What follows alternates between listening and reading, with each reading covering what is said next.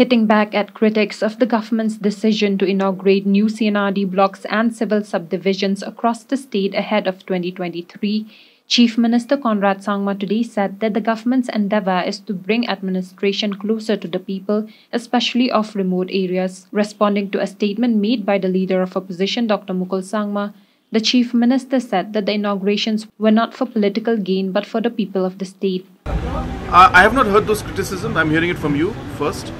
But uh, I think um, uh, the fact that uh, uh, that uh, development is getting closer to the people and administration is getting closer to the people is something that I don't think should be criticized at all.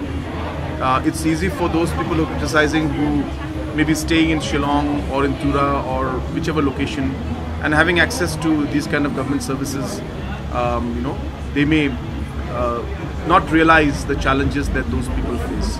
Uh, please go and ask the people who live in uh, Patharkhmah. Uh, please go and ask the people uh, who live in Namdong. Please go and ask the people who live uh, in uh, in Ramrai.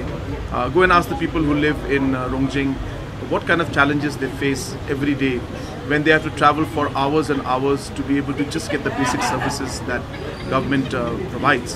And hence, I think those who criticize this are people who don't understand the pain that uh, the common citizen goes through. And hence, uh, this is going in line with the stand of the government that uh, we want to take administration closer to the people. And uh, I'm sure that the people of those areas where these developments have gone, I'm sure uh, realize its uh, benefit and understand that this will make a huge difference in their lives. I think it's sad that um, the LO is seeing good development that is being given to the people as uh, something that we are just doing it for a political gimmick. It's uh, very unfair to the people of those areas where the blocks are being given. Uh, if only the LO had uh, spoken to those people and realized their pain and the challenges they faced, maybe when he was chief minister for eight years, he could have given them those blocks. So there will be financial implications. Uh, you know, blocks on an average may have a salary implication of about two crores, and uh, subdivision also approximately same, plus minus depending on uh, total number of manpower that we will ultimately put in there.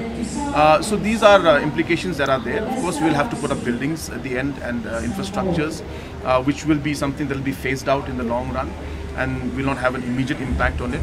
But obviously, we have to create the uh, the civil subdivisions and the buildings. Earlier today, the Chief Minister inaugurated the Patharkhmah civil subdivision and unveiled the plaque commemorating the same at a function that was held at Western Ri-Bhoi Playground, Patharkhmah, in the presence of Jirang MLA Sosthenes Sohtun and Nongstoin MLA Macmillan Byrsat.